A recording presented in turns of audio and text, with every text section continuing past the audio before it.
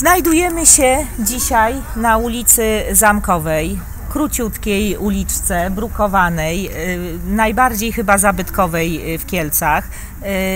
Ponieważ charakter tej ulicy zmienia się z roku na rok, poprosiliśmy pana sędziego Andrzeja Jankowskiego, prywatnie mojego ojca chrzestnego, więc będę się do niego zwracać wujku, tak jak zwykle, o y, opowieść y, o tej y, uliczce, króciutkiej, aczkolwiek kiedyś nazywanej najdłuższą w Kielcach z racji więzienia, które tu się mieściło. W tej chwili, tak jak mówię, te zabudowania zmieniają sukcesywnie y, swój charakter, e, a my w cyklu Śladami Prawdy chcemy dzięki wujkowi ocalić y, od zapomnienia y, faktyczny charakter tego miejsca. Więc zacznijmy może od początku. Więzienie kieleckie powstało w czasie Bo Tysiąc, y, więzienie kieleckie 1826-28. W tym okresie powstało. Y, Królestwo Kongresowe, a więc no, kadłubowe państwo polskie, ale no, jednak autonomiczne wtedy. I awansowały Kielce. Kielce awansowały po rozbiorach. Y, a w zaborze austriackim stały się stolicą powiatu i cyrkułu, czy takiego małego województwa.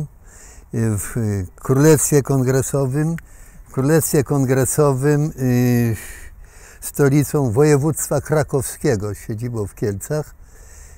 Druga część Kielęczyzny stanowiła województwo sandomierskie z siedzibą w Radomiu.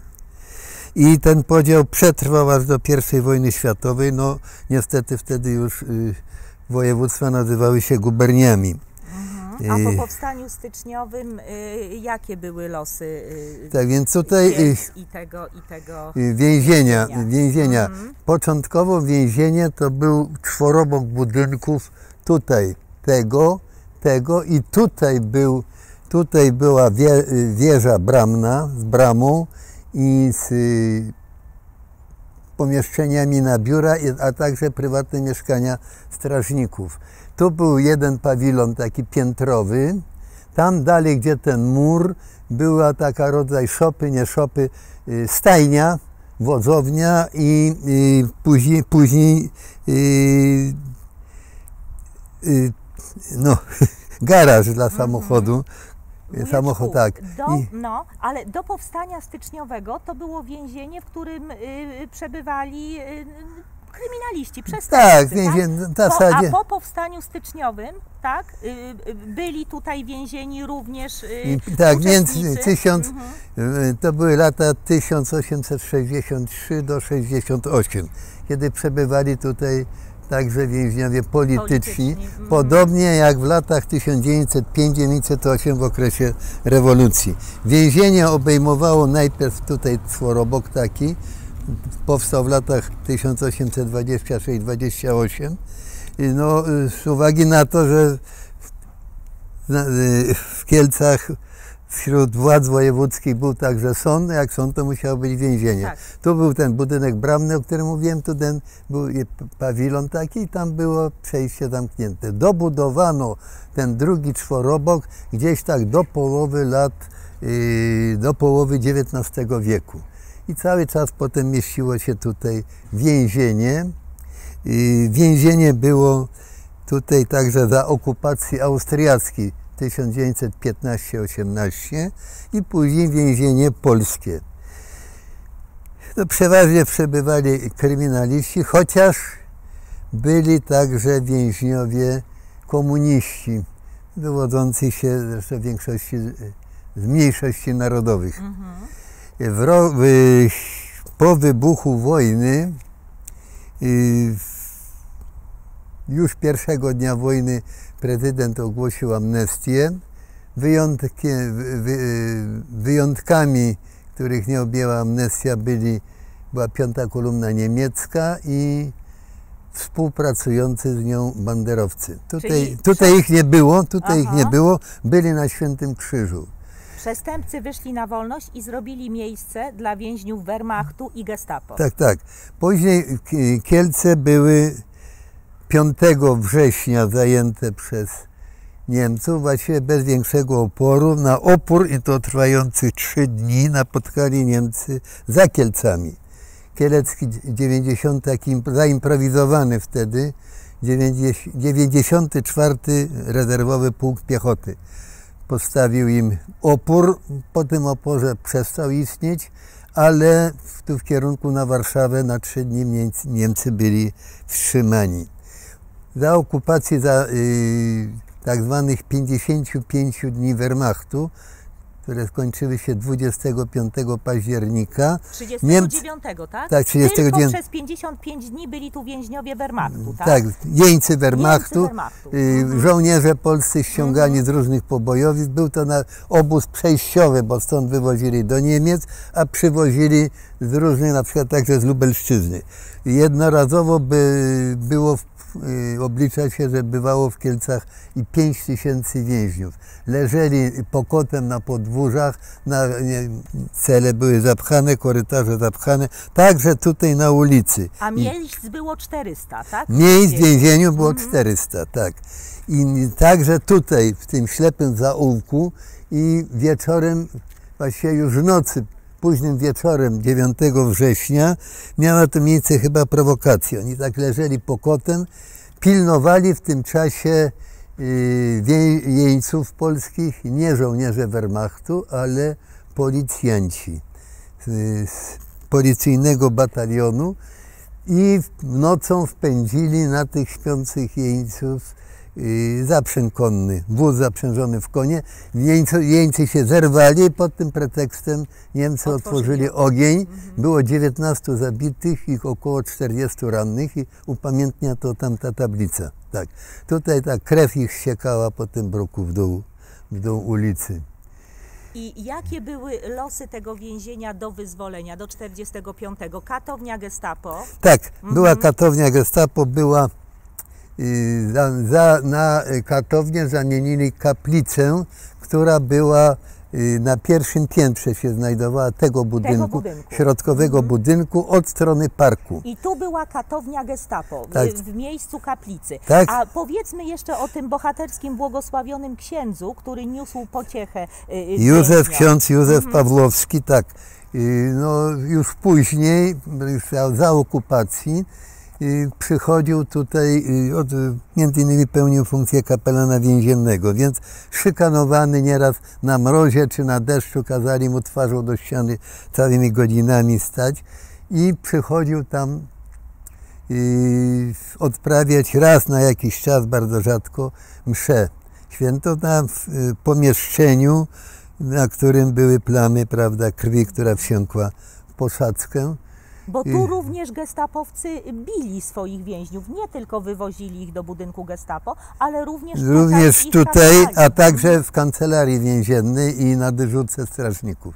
Tu w tej, w tej nieistniejącej obecnie budynku bramnym. A ja taką y, dygresję tylko. y, Ta literka, te małe literki ID to jest chyba Instytut Designu, tak? Tak, tak. Więc właśnie, czyli y, proszę Państwa, jak zmienił się charakter tego tragicznego miejsca? Instytut Designu y, y, Kielce mieści się w budynku byłej katowni Gestapo. Y, Czyli to do 45 roku, tak? Tak. Y, y, Przyszło tak zwane sowieckie wyzwolenie. Tak, tak. I W ślad za, tak, w ślad, w ślad za y, Armią Czerwoną 5, 15 stycznia, 15 stycznia y, sowieckie oddziały zajęły Kielce, sprzątnięto potem z ulic kieleckich i z okolic Kielc 8 tysięcy trupów, 5 tysięcy Niemców, 3 tysiące Rosjan. Y, po armii sowieckiej przyjechała tak zwana Smiersz, to jest y, rodzaj kontrwywiadu sowieckiego, czy polowe NKWD. Smiersz wymyślił y, Stalin tą nazwę śmierć szpionom. Y, aresztowali, dokonali aresztowań masowych polskich prawników, których potem, y, co, co było zresztą i tu, było w Radomiu, których potem wywieźli do Donbasu. Y, Jeden nie wrócił, byli używani do, do, do ciężkiej roboty w śniegu. Cel Potknąć, polityczny, tak, tak. wujeczku, tego aresztowania. Polscy prawnicy, prawnicy przedwojenni, y, nauczeni y, w szkołach pra- praworządności, tak? Tak. Zastąpieni y, prawnikami. No nie od razu, Nie od nie od, razu, nie od razu, tak. nie od razu. Inni no, byli tacy, co się musieli przystosować. W każdym razie zwolniono ich, wrócili i prawie wszyscy, bodajże z jednym wyjątkiem, o ile pamiętam, y, pracowali potem w sądownictwie, także w karnym. Y, y, Później co do tej Mhm. kaplicy, więc potem, kiedy przejęła więzienie Bezpieka i Bezpiece podlegała więzienie aż do 56 roku, no normalnie w cywilizowanych państwach y, więzienia podlegają y, resortowi sprawiedliwości. Do 56 roku podlegały resortowi bezpieczeństwa, jak go nazwano. Kaplice zlikwidowano, podzielono na cele.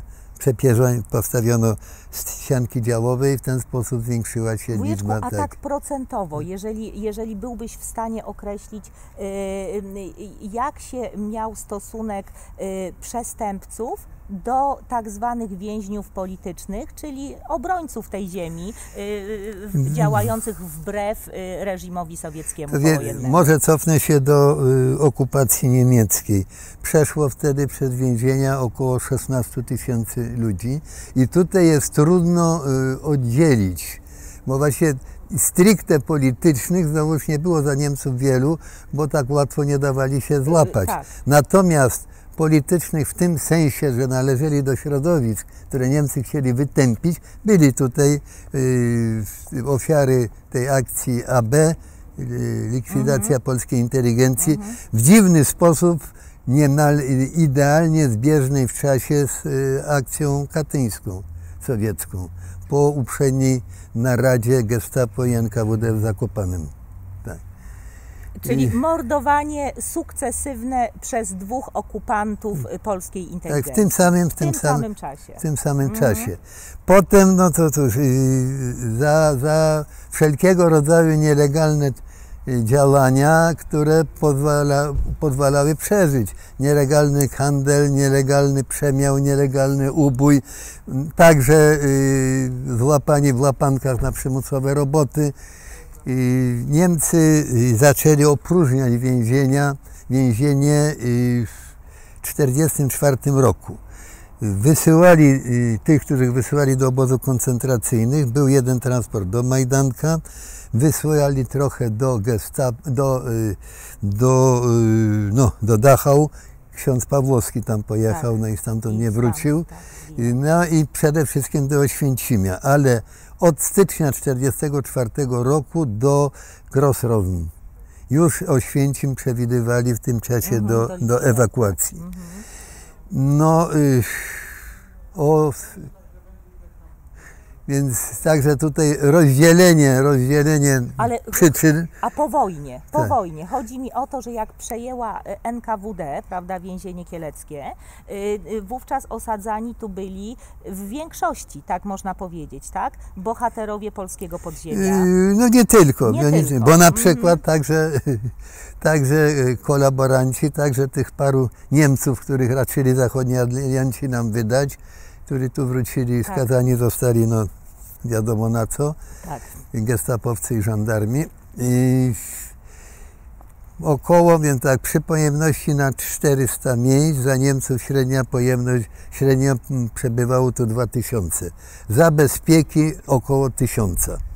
Więc też ciasno, ale już troszeczkę, troszeczkę mniej. Czy tu też zabezpieki były katownie? Czy tu, Tak, tak, tak, Mhm. tak. Gdzie, To też- wujku, gdzie się znajdowały Gdzie, katownie y, ym, zabezpieki?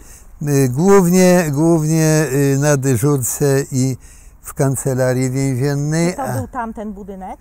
y, Nie, tutaj były. Ten, Tu, w tych, tak? w, tej, w tych nieistniejących obecnie budynku bramnym i tym pawilonie, ale najczęściej wywozili, do, zabierali do siedziby bezpieki. Ale tutaj też yy, wykonywane Też- były wyroki śmierci. Bywały, tak. Był, y, była taka wystająca belka, bo jest y, takie międzymurze tutaj z dwóch stron, od zachodu i od południa. I od zewnętrznego muru więzienia jest jeszcze taki ok- okrążający ją y, mur i tam y, w szczytowej ścianie tego pawilonu, y, tak żeby nie była widoczna z parku, była wystająca belka. Tam dokonywano egzekucji przez powieszenie, a potem w jednym z pomieszczeń na parterze tego budynku po prawej stronie wkręcony był hak, sklepienie. Pod hakiem była zapadnia i też tam y, wykonywane były wyroki śmierci. No, i przez powieszenie, no to przestępców wojennych i pospolitych, bo y, z wyroków, y, ale także y, tych, których skazano za naciągane, prawda, pod pretekstem do, do, do, dokonania zbrodni y, hitlerowskich. Lu- Ulubione było nadużywanie przy tego przepisu w stosunku do przeciwników, do akowców. NZ-owców, tak, tak. Czyli te procesy sierpniowe słynne, Tak, które tak. zrównywały y, I między, tak, na tamtym haku, jak y, najprawdopodobniej tam powieszony został Stanisław Grabda, BEM, oficer NSZ-u, którego wsadzili do worka, powiesili worek i bili kijami po worku. Tak, nazwisko jednego z tych oprawców było znane, no nie żyje już. Trafił no, tylko na sąd boski, bo tak, innemu tak, sądowi tak, nie, nie, nie, podlegał po wojnie. Tak, nie dało rady go y, tak, skazać. tak, no tak. zresztą y, można powiedzieć, że ten proces do dzisiejszego dnia jakoś tak się ślimaczy i w naturalny sposób odchodzą oprawcy bez y, odpowiedniej y, kary wymierzonej przez państwo polskie. Wujku, czy można precyzyjnie określić, ilu y, y, po wojnie więźniów y, politycznych, czyli żołnierzy Polskiego Państwa Podziemnego, NSZ-owców, ilu tutaj przebywało? I jakie były ich losy w trakcie pobytu w tym więzieniu? No, dobrze traktowani nie byli, dobrze traktowani nie byli, z tym, że już po, po wyrokach, po wyrokach na ogół byli może mniej intensywnie prześladowani, ale były wyjątki jak właśnie ten Ten BEM, tak, tak, o- sprawy- NSZ-u, tak. No tutaj też przebywał y, więziony, był między innymi tutaj mój stryj, dowódca oddziału Tak. Armii Krajowej Wybranieccy, Marian Sołtysiak. Marian Sołtysiak, Mhm. tutaj przebywał y, Kruk, pułkownik Wiktorowski, tutaj przebywał Lin, pułkownik y, no, y, Żółkiewski, y, dowódca drugiej dywizji AK w czasie akcji Burza. Tutaj y, przebywał Szary i wielu, wielu innych. To może jak wujku y, powiedziałeś o Szarym, y, to może pokrótce y, historia rozbicia więzienia kieleckiego. Y, Jak do tego doszło? Y, No, te, tego rodzaju akcje stały się powszechne w 1945 roku, kiedy masowo zaczęto y, więzić, aresztować żołnierzy Polski Podziemnej. I, y, w, na, w lipcu 1945 roku ściągnięto Szarego, wyjechał do Wolborza i właściwie y, zerwał, powiedzmy, zerwał z konspiracją, ale jak dowiedział się, co się dzieje z jego podkomendnymi, to przyjechał. Tutaj narada odbyła się w Gajówce Pogorzałe, to jest las na północny zachód od Skarżyska. I zebrali się, właściwie nie istniała w gruncie rzeczy zorganizowana sieć jeszcze y, po akowskich środowiskach, ale no, koledzy się znali, utrzymywali stosunki ze sobą, więc dokonano zbiórkę w sumie około 200 byłych partyzantów, y, z tego 150 uzbrojonych broń maszynową, 20 RKM-ów, 130 PM-ów, 3 piaty angielskie pancerzownice. Pozorowano obecność jakichś podziemnych oddziałów w lasach y, na zachód od Szydłowca. Odpalano tam ratunki wybuchowe przez cały dzień, więc w końcu y, KBW, nawet wojsko to Związali monowskie, tak, siły, tak, tak, tam pojechali, tak, wracały ciężarówki w sumie 14. Tutaj y, na, na tej górze, prawda, no, jak ona się nazywa, y, przed Skarżyskiem jadąc z Kielc, tam były zatrzymywane wszystkie cię- ciężarówki kierowane do lasów y, prowadzącego w głąb tych lasów bliżyńsko-suchedniowskich. Y, Zatrzymano tych kierowców i innych, którzy jechali, z wyjątkiem czterech funkcjonariuszy UB, którzy zostali wtedy rozstrzelani bez śladu zakopani. Innych przetrzymywano pod strażą i potem zwolniono. I załadowali się na te ciężarówki, przyjechali do Kielc, podzielili się na mm, pięć takich oddziałów, y, chwilę każdy około plutonu, od 30 do 50. Dwa w parku, jeden tu od Rogatki, tam gdzie schodzą się drogi, które mogły przyjechać oddziały KBW i czwartego pułku z Bukówki ze stadionu. Drugi tutaj w parku od strony ulicy obecnej Paderewskiego Fosza, gdzie znajdowała się bezpieka i NKWD, też ubezpieczał. Jeden tutaj na y, cmentarzu przykatedralnym w takim centralnym punkcie. I jeden dziesięcioosobowy tylko y, odwiedził pocztę i unieruchomił skutecznie centralę telefoniczną. No i, i szturmowa grupa, którą dowodził 30, którą dowodził Szary. Strzelali, no to było tak troszkę bez sensu, bo potężną bronią był Piat, ale on służył do niszczenia czołgów. On wybijał niewielką dziurę w pancerzu, a całe y, ciśnienie i, temperatura tak do środka Tak. wpadała i likwidowała załogę i czołg.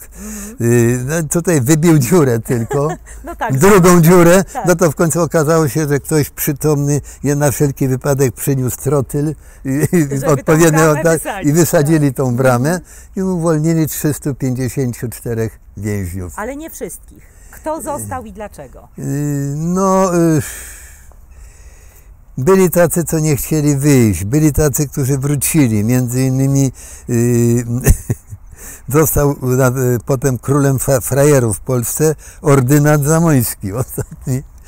Skądinąd bardzo, za, bardzo zasłużony człowiek, bo ponieważ no, jego układy z arystokratami całej Europy spowodowały, że nie ruszyli go Niemcy. Jego żona ratowała zamojskie dzieci i on zresztą dużo pomagał bardzo ludziom.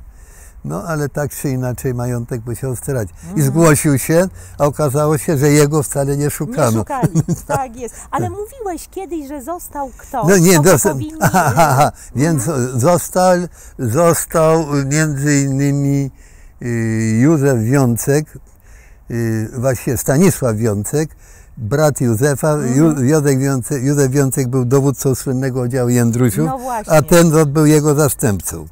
I on Ale tutaj zabrakło, zabrakło trotylu do wysadzenia drzwi. Dostało ich tak, kilku ich zostało tylko y, w tym. y, I jakie tutaj. były losy Józefa Wiącka, dla którego Nie, no więc to, no siedział, ale jego dość wcześnie, dość wcześnie, bo wrabiano ich w sierpniówki. No właśnie. Sierpniówki, a no, ale Jędrusie byli już na tyle sławni i znani, że nawet, prawda, no, odpowiednio, odpowiednio dobrane pod względem, e, prawda, narodowościowym i tak dalej, e, gremium sędziowskie w Warszawie uznało, że nie ma sensu Dlaczego ich trzymać? Kogo? Jędrusiów trzymać? I to jako hitlerowskich przestęp zbrodniarzy, prawda, wysz- wyszli na wolność. Mhm. Przyjemnego życia potem nie, Nie mieli do oczywiście. 56 roku, no ale, ale y, właśnie im się, im się, Ale można powiedzieć, uda, tak, tak, im się, im się udało. Mm. Wujku, powiedz nam teraz ym, o tych budynkach, które tu widzimy. Co konkretnie się znajdowało w tym budynku, który jeszcze nie jest y, odremontowany? Więc tu był oddział kobiecy, Po wojnie i przed wojną generalnie tak, cały tak, czas tak. był tu oddział, Oddział kobiecy. kobiecy. Więzione tu były y, dziewczyny y, walczące w czasie Tak jest, tak, wojny? Mhm. tak jest, między innymi te. Y, Pamiętam jak tak dawały znaki z okien tam, tamtą stronę wychodzący. Tu, y, tak jak słyszałem, ten taki mniejszy budyneczek, co trzy okna widać na Mhm, każdym tak, piętrze, tak. to był dla więźniarek z y, niemowlętami nawet przewidziany. Tutaj y, y, o, y, oddział polityczny i za Niemców, i za bezpieki był w tym Tu właśnie, budynku. Tak, w tym budynku. W Instytucie Designu o- obecnym. Tak, tak.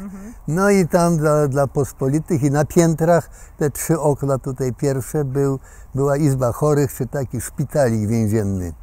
A w podpiwniczeniu y, miejsce straceń, Tak, więc, natomiast za murem y, ściana straceń. Tak, tak. y, więc tutaj y, jak widzimy na, y, na zboczu stoją te budynki, więc to co jest parterem z tej strony jest pierwszym piętrem Tak, przeciwnej. tak, tak. A co jest głęboką piwnicą, do której tylko takie okienka w studni, w studienkach się znajduje, jest parterem, no takim parterem równo z gruntem od, od strony zachodniej. Tam jest między innymi to miejsce straceń w sklepieniu, panie, wkręcony hak, na, Tak. którym, na którym wieszano.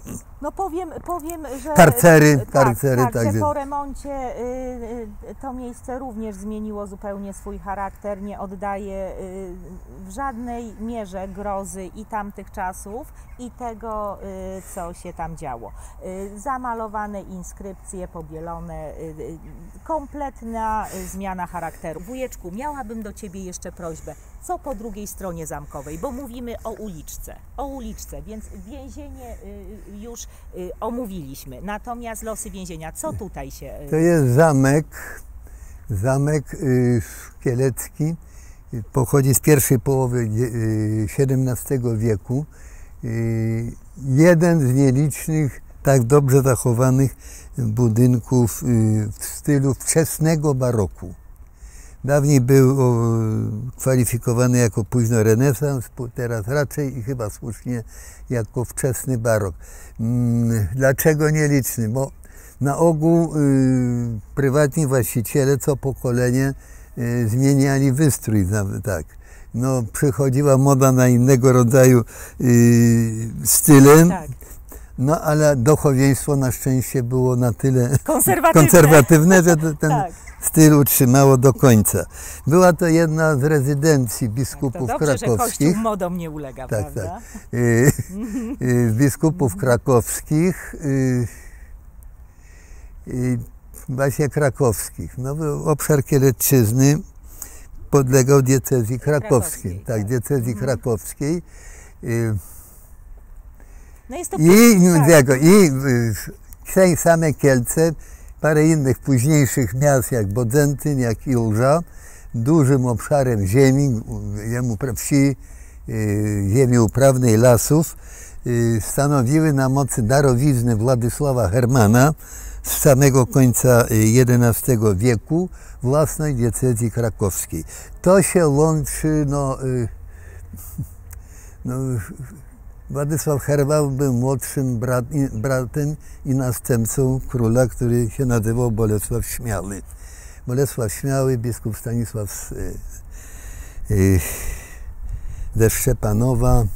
No, no, sprawa właśnie nie do końca jasna do tej pory. Ale tak czy owak, najgłębsza, najściślejsza historia y, Kielc i Kielecczyzny. Tak, tak. Myślę, że nasz operator wspaniały sfotografuje jeszcze na koniec tak. y, y, Pałac Biskupi, bo jest to rzeczywiście bardzo piękne miejsce. A co dalej w tych starych budyneczkach? Co da... Oj, przepraszam.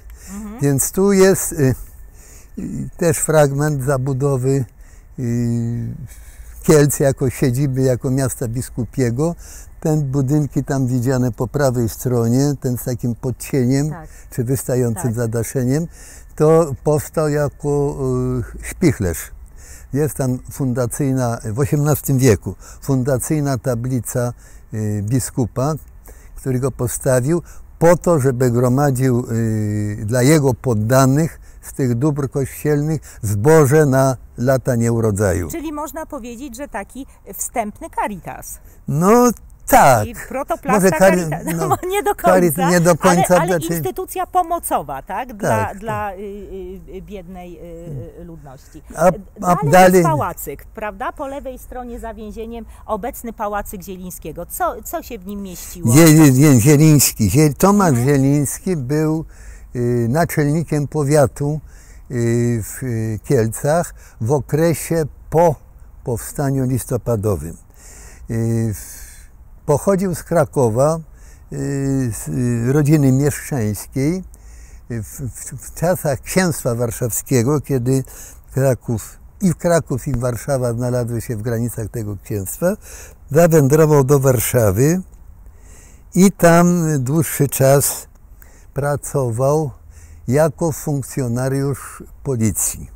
To, to, Po powstaniu z Warszawy opuścił, więc chyba y, trochę, prawda, jak był w policji, to był potem automatycznie w powstańcy pola, y, y, pow, policji powstańczej i wolał się z Warszawy na wszelki wypadek ewakuować. ewakuować. Tu został tym starostą. I nadano mu ten, ten tak? Da, dano mu ten, ten I on go, on go on go zbudował, wybudował? boś Aha, go rozbudował, aha, wykorzystał, prawda, też na takie y, modny styl po, po, po romantyzmie, styl historyczny, takie pseudo-ruiny, pseudo, prawda, obok y, zabytki postawił, ogródek, no i y, był wielkim y, opiekunem, wielkim mecenasem artystów, y, malarzy, y, grafików, y, muzyków. Nie ma wśród jego pro- protegowanych pisarzy. Y, Postawił pomnik sławnym Polakom i właśnie tam są y, malarze, rzeźbiarze, medalierowie i kompozytorzy. Jest Chopin pisany przez SZ i E na końcu. Też, tak. Wujeczku, a y, wojna druga i po wojnie, co się mieściło w tym budynku? Y, No chyba pomieszczenia prywatne jakieś, tak. Rozumiem. Czyli może pracowników tutaj y, więzienia? Nie, nie, nie, nie. nie, z ra- y, mogły być, bo były też Mhm. właśnie, to były domy y, rodzin strażników. Strażników Tak, tak, tak. Mhm. Proszę Państwa, ja trzymam tutaj w ręku y, książeczkę, którą napisał sędzia Jankowski, Tajemnice Starego Więzienia. Z uwagi na to, że charakter tego miejsca ulega y, diametralnym zmianom, y, jest to książeczka ze wszech miar godna polecenia. Opisane są tu skrótowo losy więźniów, y, przede wszystkim stalinowskich tego miejsca, bo pan sędzia jaką funkcję pełnił w kieleckim wi- więzieniu? W Więzieniu, wie- byłym, przepraszam, w Więzieniu, więzieniu. kieleckiego więzienia. Tak, nie, nie pełniłem. Tak. Byłem od 67 roku jako sędzia wtedy, oddelegowany do komisji, wtedy nazywała się Okręgowa Komisja Badania Zbrodni Hitlerowskich. Poszerzonym, y, poszerzoną właściwością w, latach, przełomie lat 80., 90. na zbrodnię przeciwko narodowi polskiemu i wchłonięta została y, w 2000 roku przez nowo powstały. To prawda miała dodatkową nazwę Instytut Pamięci Narodowej, ale ten powstał jako w zupełnie innej formie. Powołany został ustawowo i wchłonięta została przez IPN. No więc w tym y, w IPN-ie do 2012 roku y, pełniłem funkcję głównego specjalisty jako emeryt na pół etatu. I bardzo często wujku tu przebywałeś. Tak, tak. Tutaj też, ponieważ wtedy to miejsce rzeczywiście było więzieniem, tak wyglądającym jak e, w czasach stalinowskich. Miałeś tutaj też takie, można powiedzieć, duchowe przeżycia, tak? Czy, czy, czy mógłbyś e, No, dwa zdania na ten temat? Wiesz, wolałbym nie. Dobrze. dobrze Wolałbym nie. Dobrze. Na, E, natomiast, natomiast była taka e, w, z inicjatywy środowiska byłych żołnierzy Armii Krajowej w e, paru pomieszczeniach parteru zachodniego skrzydła, dostępnych od właśnie od tego obejścia, urządzono takie e, mini muzeum. Były zachowane w stanie takim, jakim były y, za Niemców i za bezpieki karcery. Była taka y, y, ekspozycja do, dość skromna. No wszystko to przejął ten obecny ośrodek tutaj. Y, Proszę Państwa, ostatnie zdanie y, z książki sędziego Jankowskiego. Stare mury, gdyby umiały mówić, wiele mogłyby powiedzieć. I są tacy, którzy twierdzą, że mury starego więzienia jednak coś mówią, że coś chcą przekazać. Mają stare zamki swoje białe damy, swoich czer- czerwonych rycerzy, mają swoje tajemnice i stare więzienia.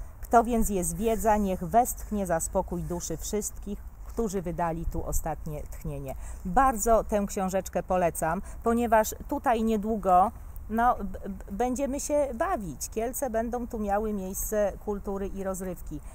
Yy, To miejsce, powtarzam, spłynęło krwią najlepszych synów tej ziemi.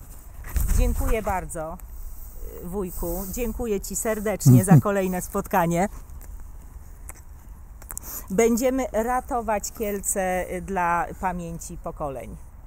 W ten sposób. Dziękuję bardzo.